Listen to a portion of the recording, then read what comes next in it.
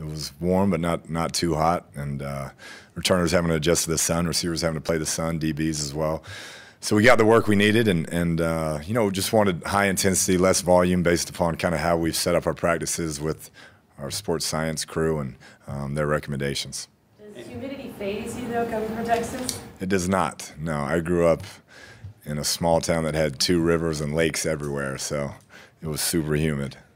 Was your hometown from the town where you coached? Um, you've got a lot of hometown guys in your locker room, and I'm curious about the pros and cons of that. So, uh, were you? Did it feel like you were coaching at home when you were in college?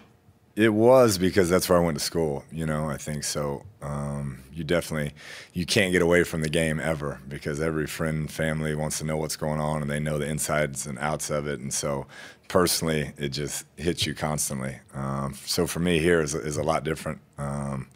In that regard, but I can see somebody like Kirk or Suggs with family and friends that have grown up here, have been Cardinals fans, are just completely intertwined with it. Um, it can be pretty intense at times imagine there's pros and cons to it. Have you had conversations with guys about that sort of thing? Are there pros you just No, I think you know they got a lot better deal. Um, you know, they're young and rich and playing pro ball, so they don't have to deal with alumni or academics or any of those things. So I, I think they're doing all right.